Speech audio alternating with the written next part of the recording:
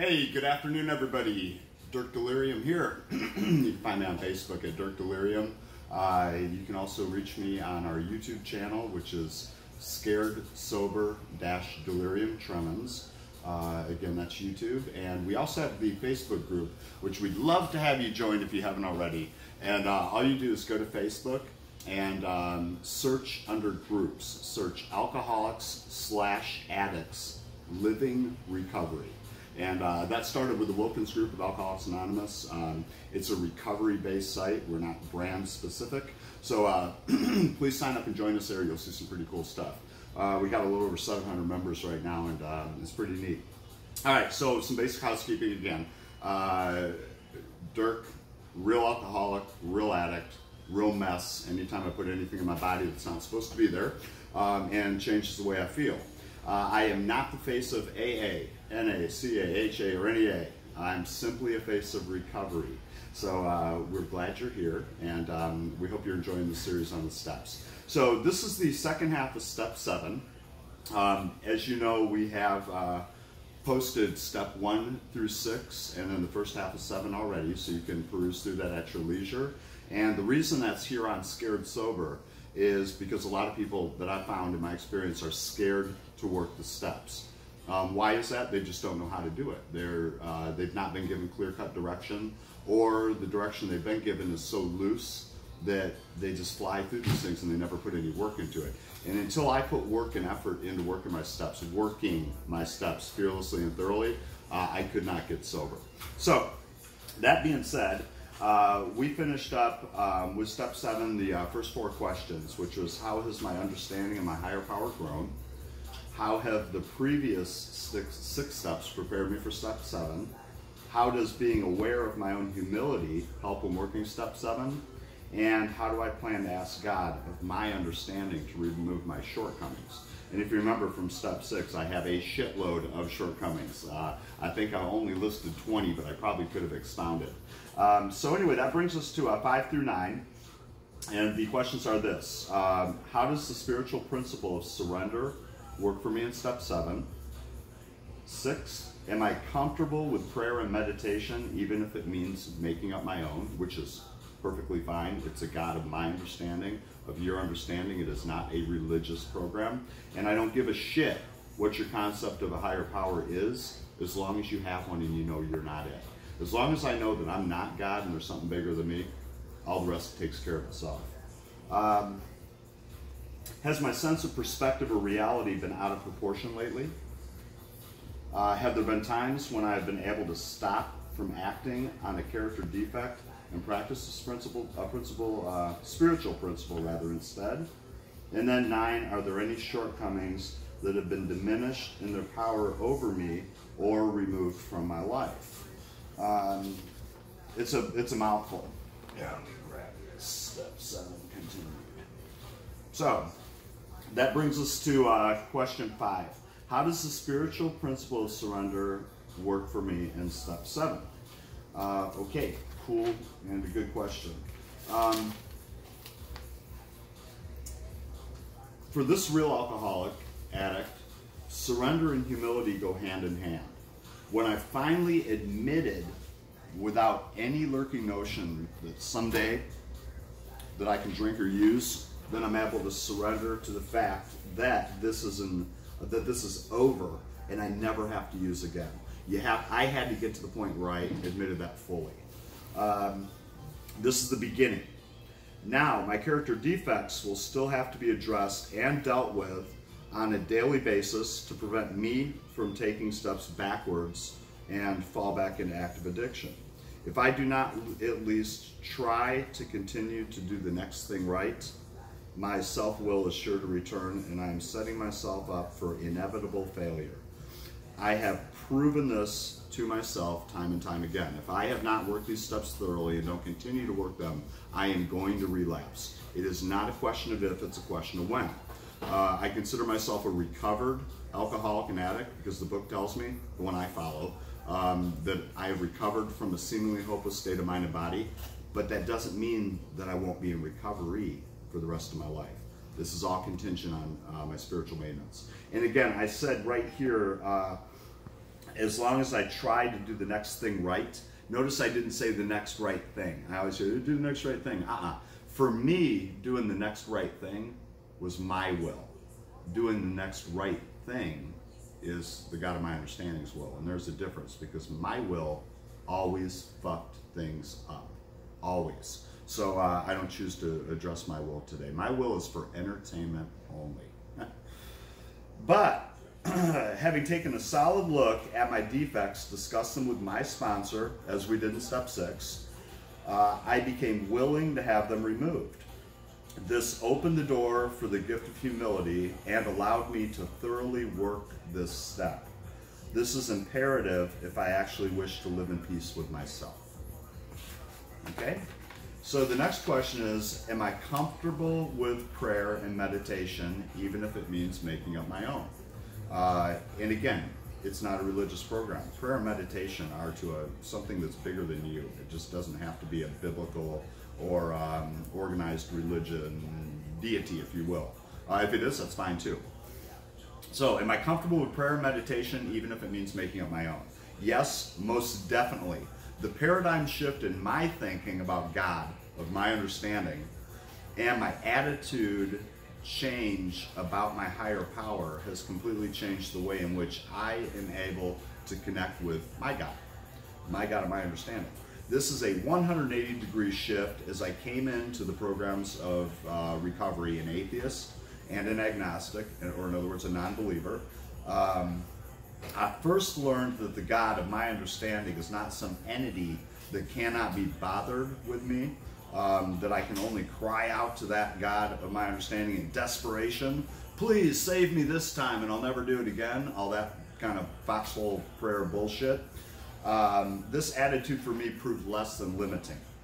Uh, my higher power today, on the contrary, is a sense of both calm and inspiration that I can call on at any moment of any day or time. Being said, meditation and prayer are simply my time to talk with my God. And remember, this is not a religious program. This is the God of my own conception. As I've said, I do not have to even understand my own conception of a God or higher power. I don't have to know what that is. I just have to know for certain I'm not it. And I'm not. So, when it comes to prayer and meditation, I'm completely comfortable I do not have a structured way in which I do either. I don't. Um, some people do. Uh, nor do I follow any specific recited prayer regiment. Um, with the exception of the Serenity Prayer, uh, but we have studied that. We've gone through the Serenity Prayer, and I'd be happy to address that if you have any questions. Um, hit me on Facebook one on one, and um, I'd be happy to talk with you either live or uh, communicate over the internet. Um, so rather, my prayers are more of a spiritual conversation or a simple conversation that I have throughout the day with my higher power. I usually don't get answers immediately, but they do always come to fruition. Uh, it's pretty neat. Okay, seven, question seven. Has my sense or perspective of reality been out of proportion lately? It can happen in sobriety and in active addiction. Uh, no, I can say with confidence it is not. Through the programs of recovery, I have learned that with humility, I can easily be right sized. This often begins with my expectations of others. If I don't set my expectations too high, I am less likely to be disappointed. And when I'm not let down, I don't get angry. Imagine that.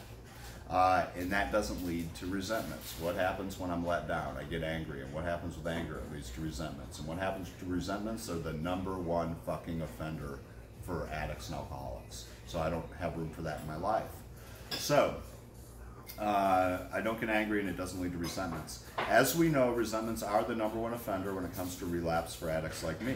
So humility keeps me even keel and prevents that perspective from becoming skewed or out of proportion. That brings us to number eight. Have there been times when I have been able to stop from acting on a character defect and practice a spiritual principle instead? Interesting. Let me uh, light a cigarette real quick. so, uh, yeah, absolutely, of course. If there haven't, um, I'm doing something wrong. So let's explore that. So, yes, absolutely. Am I able to do this 100% of the time? Absolutely not. That would be a pipe dream, and I never will. That would be perfection, and I am far from it. Uh, so, this will be a lifelong work in progress for this addict and alcoholic. However, being aware of these defects paired with a level of humility is the first step in being able to act on a spiritual principle uh, versus react to a situation. Um, I think we covered that in depth, but I will reiterate. When I react, that means I'm going to give you my knee jerk reaction to whatever the situation is right now, and it's almost always going to be wrong. Uh, when I take time, pause when agitated, review what I'm going to say, think things through, I'm more likely to come up with a better answer for both myself and whoever I'm having that uh, disagreement with. Um, it always comes back for this real alcoholic to the decision to respond versus react. When I'm able to recognize a defect rising out of me, I can think things through. Choose my response, if you will, and recognize whether that response will be damaging or hurtful towards others.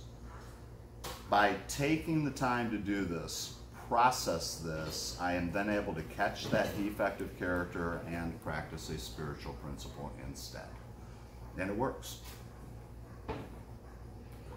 I love this question. Number nine. Are there any shortcomings that have been diminished in their power over me or removed from my life? Gone.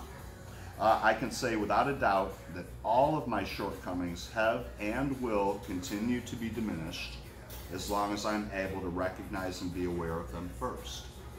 Uh, if I do not catch them, I will fail and be left to make amends. Which is okay. We're going to do that. We're human uh, but less is more. Understand this happens often. After all, I am and always will be an alcoholic and an addict. I am also only human. Being said, I do not believe these shortcomings will ever be completely removed or eradicated from my life in the sense that my obsession to drink and use has been. The obsession to drink and use for me is gone. Uh, my God my understanding has lifted that. My shortcomings, on the other hand, are always going to be there. Uh, therefore, it's a lifelong practice. It's not a um, light switch in the sense that uh, the obsession has been lifted. Um, at least that's how it works for me. So uh, my obsession in drink or use has been lifted. That, thank God, no longer dominates my every moment. Character defects or shortcomings, if you will, can only be removed as they crop up on a situation by situation basis. And this again is achieved through a level of humility. As an alcoholic and addict in recovery, we will never be responsible for our first initial thought, ever. We're to have that thought. and it's always wrong. Uh, our minds just go there. We are, however, entirely responsible for our second thought and our first action. That's how we act on that. Uh, and this is when recognizing uh, the defect and responding to them becomes imperative.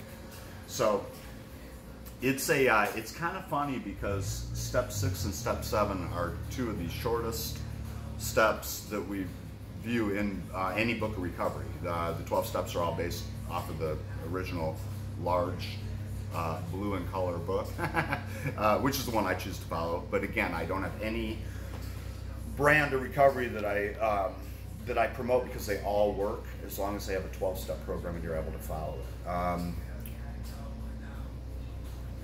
when I read these steps, and I had gone through many sponsors, many, uh, and back in the uh, olden days when I was uh, trying to find the easier, softer way, and I wanted the sponsor that uh, would accept less than more, these were steps that generally were said to me, oh, these you just do on your own. And I'm like, oh, really? Okay, well then I'm done. Um, but that's not the case. So that's why we tore step six and step seven apart. Um, I spent more time on step six and seven than I did on my four step inventory and my fifth step, which was sharing my uh, defects with myself, my God, my understanding, and another human being. So, um, my only advice is again this do these things fearlessly, thoroughly, and honestly. Honestly with yourself, because if you don't, you're the only one that's going to fail. Um, you're only going to bullshit yourself. I can bullshit my sponsor. I can bullshit my peers. I can lie with a straight face. I'm an alcoholic and addict. We're good at that. But if I do that, the only one that's going to fail in the long run is me. And for me, this is, and I'll say it again, life or death. And there's no in between. So I'm really glad you guys are here. Um, I really hope this helps one person. If it does, if it makes going through the steps a little bit easier, um, then all this is worth it. Um, if, uh, if there are uh, just a small few of you out there, the critical ones that say this needs to be left in the room, say, well, bullshit. Uh, my job is simple. In the programs of recovery, um, my primary purpose is this: is to stay sober, which I'm going to do because I'm going to do what I did yesterday. And the uh, second part of that is to help other alcoholics and addicts achieve recovery. And um, we will take any means and ways we can to do that. So uh, I appreciate your time. I hope you found this of interest. And uh, we'll be posting step eight in the uh, very near future. I'm so glad you're here. And with that being said, I appreciate one of my sponsors doing a little filming for me, and we are out.